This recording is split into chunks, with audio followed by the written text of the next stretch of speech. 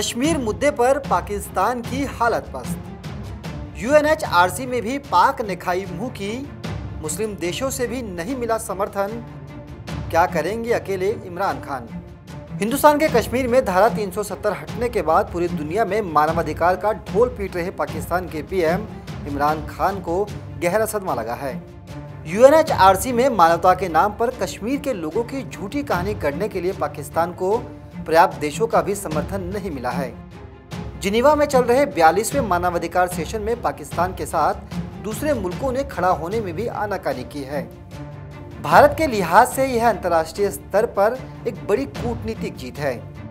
सभी प्रमुख अंतर्राष्ट्रीय मंचों पर भारत मजबूती से जम्मू कश्मीर से आर्टिकल 370 को समाप्त किए जाने को आंतरिक मामला बता चुका है। ऐसे में साफ़ है कि अब कोई भी मुल्क पाकिस्तान के साथ आने की जहमत नहीं उठा रहा है। इतना ही नहीं, पाकिस्तान को मुस्लिम देशों का भी समर्थन नहीं मिल रहा है।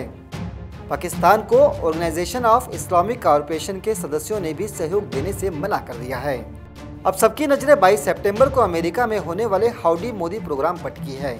देखना यही है कि जब पीएम मोदी पचास हज़ार अमेरिकी भारतीयों को संबोधित करेंगे तो कैसे पाकिस्तान का चेहरा दुनिया के सामने बेनकाब करते हैं? Bureau Report, Navodaya Times.